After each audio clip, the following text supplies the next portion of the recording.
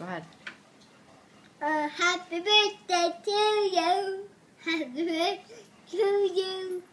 Happy birthday to Ethan. No. Whose birthday is it? Happy birthday to no one.